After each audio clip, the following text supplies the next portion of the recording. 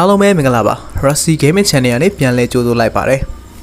ဒီနေ့ဗီဒီယိုမှာတော့ Season 24မှာ Run တက်လို့ကောင်းတဲ့ Hero 9ကောင်ကိုပြောပြပေးသွားမှာဖြစ်ပါတယ်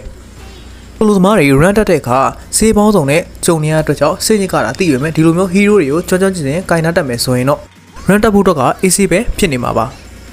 ဒါဆိုရင်ဒီဗီဒီယိုထဲမှာပြထားတဲ့ Hero 9ကောင်က Run တက်ဖို့အတွက်တကယ်အကျိုးရှိမယ်လို့ကျွန်တော်မျှော်လင့်ပါတယ်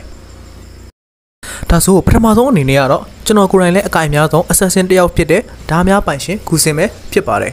။အားလီဂိမ်းမှာနေမှာကလေဂိမ်းထိတက်ချမ်းနိုင်တဲ့ assassin တစ်ကောင်ပဲဖြစ်ပါတယ်။ဓာတွေကိုအထုပ်သွင်းတာပိုင်နိုင်မယ်ဆိုရင်တော့ enemy တစ်ကောင်ဆိုတစ်ကောင်အသက်ဘယ်နာထွက်သွားလဲမသိစေနိုင်တဲ့ hero ဖြစ်နေလို့ rank တင်ပေးဖို့ဒီ hero ကိုသုံးဖို့အကြံပြုလိုပါတယ်။တကယ်ကျွမ်းကျင်တဲ့ကူစင် player တစ်ယောက်ဖြစ်ဖို့အထုပ်သွင်းကျမ်းဖို့ပဲလိုပါတယ်။ဓာတွေကိုပြောတာပါ။ ကဲဒါဆိုအထုပ်သွင်းကျန်းတဲ့ကိုစင်ပလီယာတယောက်ဖြစ်ပြီးတော့ run တက်နိုင်ကြပါစေလို့ကျွန်တော်ဆုတောင်းပေးလိုက်ပါတယ်နောက်တစ်ယောက်ကတော့ assassin တွေကတကောင်ဖြစ်တဲ့ lane man ဖြစ်ပါတယ်505 skin ထွက်ပြီးကြရ damage တွေရှေ့ကျန်းလာတာကိုတွေ့ရတဲ့အတွက်ကြောင့်ဒီထဲမှာထည့်ထားတာဖြစ်ပါတယ်လင်းကတော့ brother တို့အနေနဲ့စိမ့်မှာမဟုတ်ပါဘူး run နေ classic တွေမှာအများအားတွေ့နေရမှာဖြစ်ပါတယ်ဟိုကိုခွာတဲ့ဟာမနဲ့ပေါ့ လင်းကင်တာကတော့ဓာတ်တစ်ချောင်းနဲ့ပဲဒါပေမဲ့ ultimate ဖွင့်လိုက်တဲ့ခါကျရင်ဘယ်ကထွက်လာမှမသိတဲ့ဓာလေးချောင်းကိုလိုက်သိမ်းပြီးတော့ ultimate rate အတွင်းမှာရှိတဲ့တကောင်ချင်းစီကို share ထိုး plan နဲ့လိုက်ထိုးနိုင်တဲ့ကောင်ပါကြားတဲ့ဂုတ်ခွားတဲ့ကောင်မနဲ့တွေ့ရင်ဘာပြောကောင်းမလဲ enemy တွေကို9ယောက်တယောက်ဒီစားပေးပေးနိုင်တဲ့ကောင်တကောင်ဖြစ်ပါတယ်ဒါကြောင့်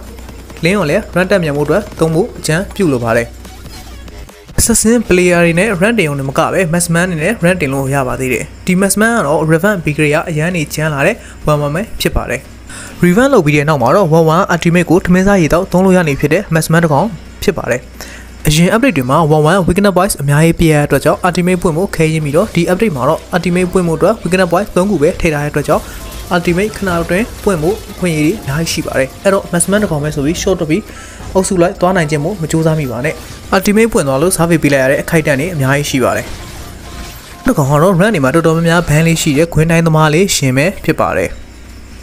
ရှင်ကတော့တကောင်နဲ့ဒါပေမဲ့ခွင်းနေနေပေါ့ရှင်ကတော့တခြားဟီးရိုတွေလို့မဟုတ်ဘူးသူခွင်းကအကြီးပဲသူခွင်းနဲ့ရောက်လို့ပြတ်ထွက်လာတဲ့ကောင်ကတော်တော်ရှားပါတယ်